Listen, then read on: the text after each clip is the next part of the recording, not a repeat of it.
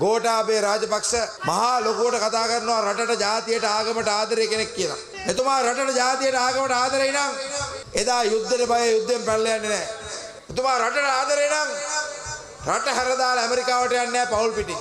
එතුමා රටට ආදරේ නම් ඇමරිකාවට ගිහිල්ලා අපේ පුරවැසිභාවය ඉරලා විශ් කරලා ඇමරිකානු පුරවැසිභාවය ගන්නේ නැහැ සහෝදරනි.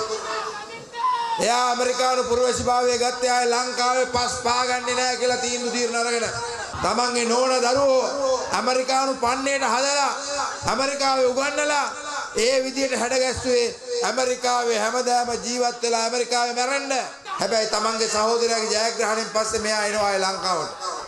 ඒ ධනයට බලයට තියෙන කෑදරකමට සජිත් ප්‍රේමදාස අවුරුදු 25ක් හම්බ කරුවේ ජනතාව එතුමා සල්ලි හම්බ කරන්නේ නැහැ හොරගම් කරේ නැහැ ව්‍යාපාරික පැලන්තියක් හදාගත්තේ නැහැ ජාවාරංකාර පැලන්තියක් හදාගත්තේ නැහැ කුඩුකාරව නිර්මාණය කරුවේ නැහැ කසිප්පුකාරව එතනල්කාරව නිර්මාණය කරේ නැහැ එතුමා නිර්මාණය කරේ හදාගත්තේ ඔබතුමාලව ඔබතුමාලව දිනාගත්තේ එහෙමයි.